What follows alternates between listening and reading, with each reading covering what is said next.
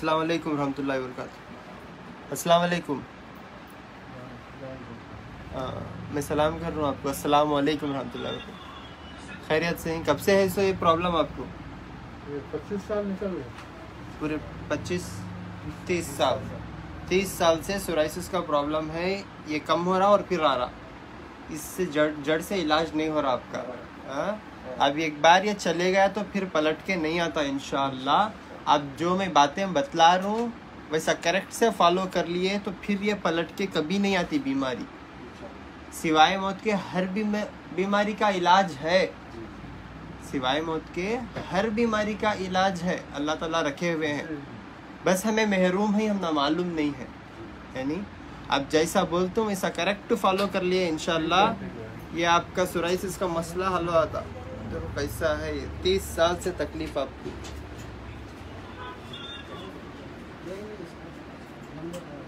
खुजली होती बहुत। बहुत। निकलते रहता उसको झड़ता जंगल में जाके पाको साथ भी रहना उसे भी नाखून से पाक करना आप। ठीक है ना? क्या कुछ लकड़ी रहते तो हाथ दिखाओ हाथ दिखाओ ऐसे करो जितना पाको साफ़ रहते उतना जो है आपको बीमारी छोड़ के चले जाते इंशाल्लाह। पानी गिरा तो बहुत जलन बुक लो मेरी बुक का है? पानी गिरा तो जलन अस्सलाम वालेकुम वरहमतुल्लाहि वबरकातुहू। औज़ुबिल्लाहि मिनश शैतानिर रजीम बिस्मिल्लाहिर रहमानिर रहीम पना माँगता हूँ मैं अल्लाह की शैतान मदद से बचने के लिए। शुरू करता हूँ अल्लाह का नाम लेकर जो बड़ा मेहरबान नहायत रहम फरमाने वाला है। भाइयों दोस्तों बुज़ुर्गों नौजवान साथियों और मेरे प्यारे माँ बहनों ये सोरेसिस बीमारी ये अल्लाह की तरफ़ से यानी तो आजमाइश यानी तो सज़ा। अगर अल्लाह की तरफ़ पलट रही, गुनाहों से तोबा कर रही, अल्लाह की तरफ़ पलट रही तो यह आजमाइश बहुत जल्दी इंशाल्लाह शिफा हो जाता। अगर अल्लाह की तरफ़ नहीं वापस हो रही, गलत का मंच कर रही तो ये सज़ा हो जाती। ये बीमारी नहीं, हर बीमारी के बारे में बोल रहा ठीक है? सोराइसिस बीमारी, इसका इलाज जो है, इंग्लिश में नहीं है। लेकिन अल्लाह ताला जड़ी बूटियों में इसका इलाज रखे हुए हैं, अल्हम्दुलिल्लाह। अभी जो मैं बोलता हूँ, इंशाल्लाह घर पे बैठ के कर लेंगे। कुछ ज़रूरी टिप्स बतलाता हूँ, अगर घर पे बैठ के कर लेंगे तो हमेशा सेहतमंद रहेंगे। क्योंकि हर बार मैं हर एक पेशेंट को डिटेल में बता नहीं सकता हूँ बिकॉज़ मेरे पास ज़्यादा टाइम नहीं रहता। पेशेंटों का फ्लो ज़्यादा होने की वजह से मैं डिटेल में हर एक को नहीं बता सकता हूँ। तो अब इस वीडियो में मैं जो बतला रहा हूँ, गौर से फॉलो कर लो तीन चीज़ों पे ध्यान दियो। एक, दिमाग को ठंडा। दूसरा जिसम को गर्म, तीसरा पेट को नरम। दिमाग को ठंडा रखते आप रात में सुकून से नींद करते। रात सारी जागते नहीं। रात में नींद करते, गुस्सा नहीं होते, टेंशन नहीं लेते। ठीक है? गुस्सा, टेंशन, ये सभी नींद करे तो नहीं होता, नहीं तो चिड़चिड़ाहटपन आ जाता, है नहीं?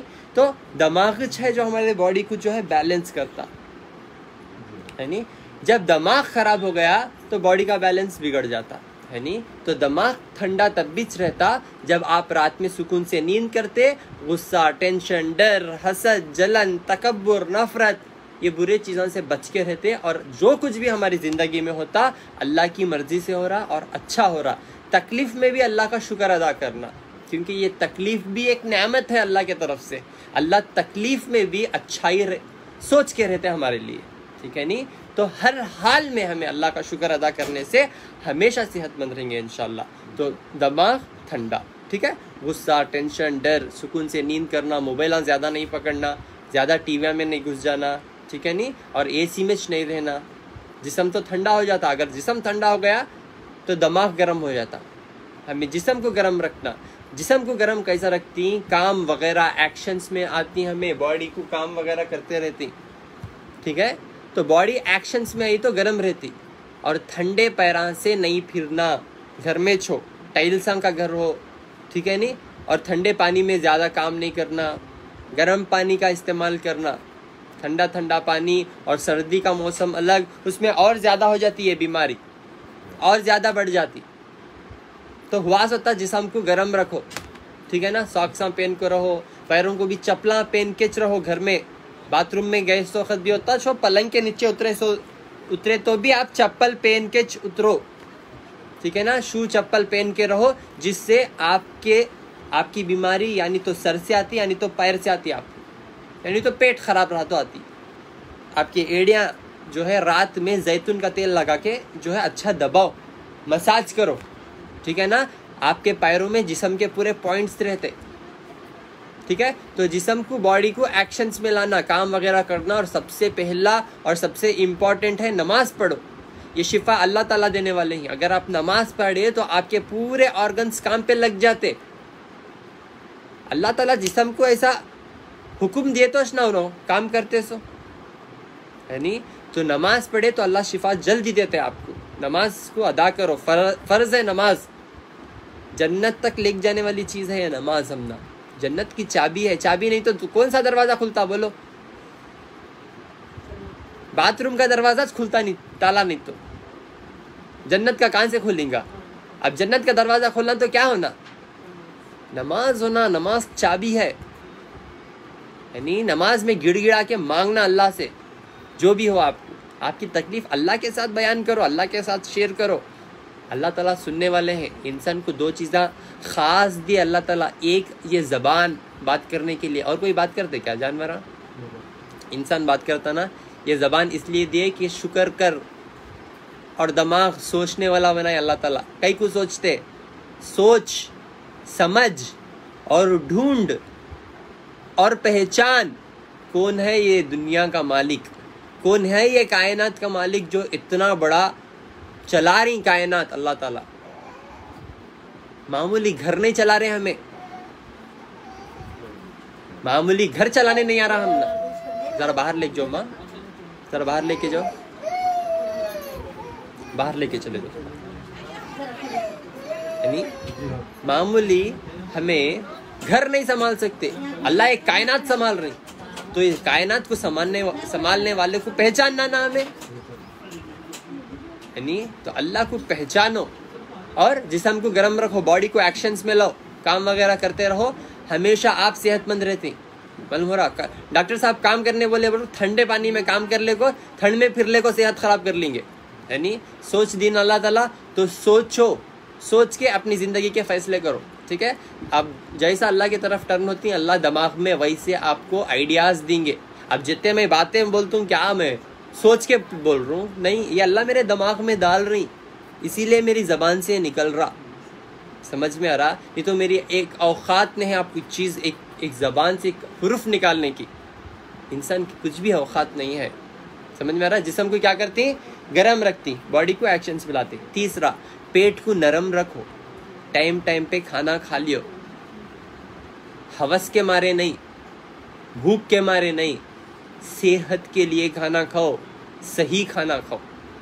टाइम पे खाओ खाने को बारीक चबा के खाओ ठीक है ना? तरकारी कम खाओ गोश्त दबा को खाओ। गौर से सुन रही तो बोझ बोल रहा हूँ चिकन खाए तो ज़्यादा होता। बाहर का चिकन रिच खाने को। गोश्त कम एक टुकड़े दो टुकड़े। नहीं हम ना भर को होना एक बासन फुल। आ गोशुच होना दूसरा नक्को आ शेरा ना हमें गोश्त खाने। उससे हंसदे के जैसा लेट जाती। खा को सो जाती ना, लंबा। हजम करना ना, उससे पेट इतना मोटा नौ महीने का। औरतें कम प्रेग्नेंट हो रही, मर्दा की कमज़ोरी से। और मर्दा प्रेग्नेंट के जैसा पेटा भोगा ले रही। सिस्टम देखो कितना बिगड़ा। हाँ? नौ महीने नहीं बारह बारह महीने हो जा रही आदमी हाँ जिसम को गर्म रखो बॉडी को एक्शन पे लो पेट सही खाना खाओ टाइम पे खाना खाओ खाने को बारीक चबा के खाओ तरकारी अच्छा खाओ गोश्त को कम खाओ घर में सेंधा नमक इस्तेमाल करो। सेंधा नमक और पानी गर्म करके फिर ठंडा करके इस्तेमाल करो। ठंडा पानी पियोज न को खासकर बीमार लोग। तो हाँ गुड गुड ठीक है ना? अब जो रेमेडी बोल रहा हूँ वो कर ले इनशाला तो अब जो मैं बोला दिमाग ठंडा जिसम गर्म पेट नरम ये एक टेक्निक से आपकी ज़िंदगी आपकी बीमारी फिर पलट के नहीं आती इनशाला ठीक है ना? ये तो बीमारी कम हो जाती। और ये हमारे गंदे आदतन से वो पलट के आ जाती। वो पलट के नहीं आना तो ये आप सोच के अपनी सेहत को अपने हवाले ये डॉक्टर के हाथ को देगा तो खसाब बन को पूरा छिल को निकाल लेती तुम्हारा। हाँ? तो खुद के डॉक्टर्स आप तब भी जुनती जब ये कायनात के डॉक्टर को पहचानती जब ये पूरे कायनात के डॉक्टर को भूल जाती तो मरीजा होकर ज़िंदगी गुजारती। समझ में आ रहा? का, काली जीरा। काली जीरा से और असरदार कड़वी जीरा। ये आपको दुकानों में मिल जाता। कड़वी जीरा ले लो, एक पचास ग्राम। भुन के इसका पाउडर बना लो। फिर चार नींबुआ। निछोड़ के रस पेस्ट बना लो और जहाँ जहाँ पर भी ये सोराइसिस है, इसे पूरा लगा दलो लगा के 10-12 घंटे छोड़ो। उसके बाद गर्म पानी से वॉश कर लो वॉश कर लेने के बाद इनशाला डेली रात में लगा के छोड़ के सुबह में आप वॉश कर ले सकते ठीक है? हमारे बच्चे को बुलाओ ज़रा। रहन दो रहन दो रहन दो। ठीक है? तो ये एक तो और खुजली किसे ज़्यादा है? मैं एक बुक लिखी इनशाला आप लोग दुआ करो। उसमें मैं ऐसे ऐसे रेमेडीज लिखी। आप सिवाय अल्लाह के किसी के मोहताज नहीं रहेंगे और पूरी ज़िंदगी इनशाला सेहतमंद ज़िंदगी गुजारेंगे। क्या भी प्रॉब्लम रहा घर में खाने पीने की चीज़ों से आप ठीक हो सकते अभी खुजली का एक फार्मूला मैं बोलता हूँ इनशाला आप रिकॉर्ड कर लियो या स्क्रीन निकाल लियो, घर पर बैठ के फॉलो अप कर लियो। इससे खुजली भी कम हो जाती है आपकी इनशाला पचास नीम, निम्बोलियाँ। नीम के निम्बोलियाँ बोलती ठीक है ना? दो मुट्ठी नीम के पत्ते छाँव में सुखा लेना। इन दोनों को पाउडर बना लेना। दिन में कभी भी एक स्पून खा लेना ग्यारह दिन के लिए। तीन मुनखा एक गिलास पानी में सुबह में भिगा लें, भिगोल के डाल के और रात में आधा गिलास तक पका के पी लेना। ठीक है ना? ये रेमेडी खुजली के लिए। स्क्रीनशॉट निकाल लियो जो भी वीवर्स मेरे फेसबुक के स्क्रीनशॉट निकाल लियो। ये कड़वी ज़ीरा आप करते करते ये खुजली का भी फार्मूला कर ले सकते हैं। अगर अल्लाह आपसे राज़ी हैं तो कड़वी ज़ीरा इनशाला आठ दिन में आपको अल्लाह चाहा तो एक सेकंड में शिफा मिल जाता। है हाँ, अल्हम्दुलिल्लाह। तो आठ दिन में आपको अल्लाह पूरी शिफा दे देते हैं इनशाला अस्सलाम वालेकुम रहमतुल्लाहि बरकातहू हर महीना एक से पाँच तारीख तक गुलबर्गा छः तारीख को बीदर, आठ तारीख को रायचूर, नौ तारीख को करनूल। गुलबर्गा में अपोजिट पानी की टांकी, शोर गुम्बज रिंग रोड और जो है छः तारीख को बीदर में जामिया, हाशमिया, दुल्हन दरवाज़ा, आठ तारीख को रायचूर में अलसलामा फ़ंक्शन हॉल, नौ तारीख को करनूल में ये N R Namaste function hall.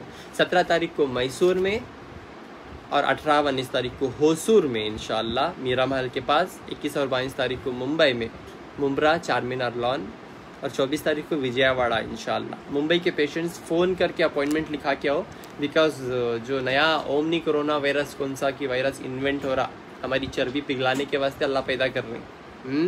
बहुत ज़्यादा चर्बी हो गई हम ना सबको भी। हाँ भूल जा रही ना अल्लाह को, याद नहीं कर रहे ना। उससे याद दिलाने के वास्ते ये बीमारियाँ को छोड़ रही हैं अल्लाह ताला। अगर नहीं सुधरे तो और ऐसा वायरस आता, खाने को खाने को तरसेंगे, सोने को एक जगह के लिए तरसेंगे। अल्लाह की पनाह में आ जाओ इनशाला वो सा वायरस आपको ऐसा टच भी नहीं करता इनशाला मेरा phone number double nine double zero triple six four nine five double seven nine five four one four one three nine eight one nine seven zero four one four double one असलकम वरहमल